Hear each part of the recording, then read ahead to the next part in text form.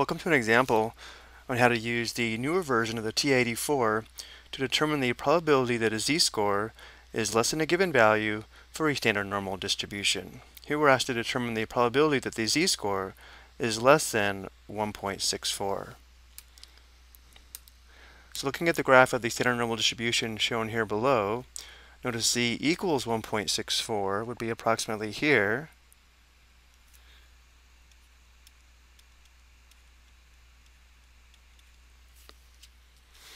and therefore the probability that z is less than 1.64 would be the same as the area under the standard normal distribution curve shown here to the left of z equals 1.64, which should be this area here.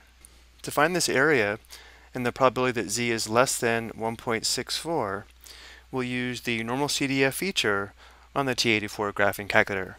Well, we'll enter A, B, mu, and sigma which gives values for the cumulative normal density function occurring between x equals a and x equals b, and this value would also be the cumulative area under the standard normal distribution between a and b, which will give us our probability.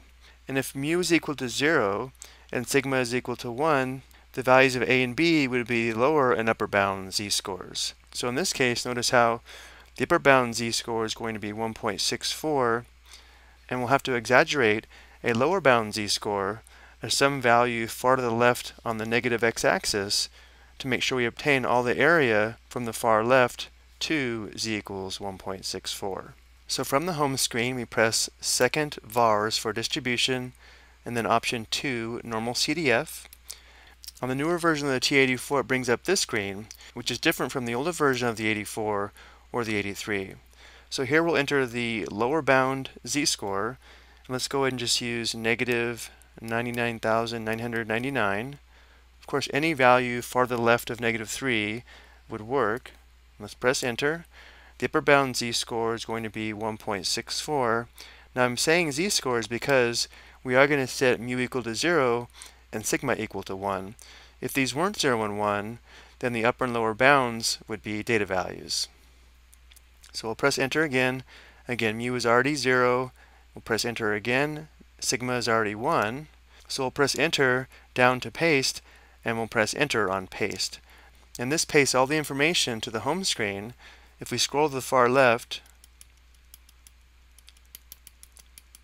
notice how we do have the normal CDF command, then the lower bound z-score, upper bound z-score, mu, and sigma. So if we press enter, this will give us the area to the left of z equals 1.64, which is also the probability that z is less than 1.64. So notice how our probability is approximately 0.9495. So the probability that z is less than 1.64 is approximately 0.9495, or as a percentage, would have approximately 94.95%. I hope you found this helpful.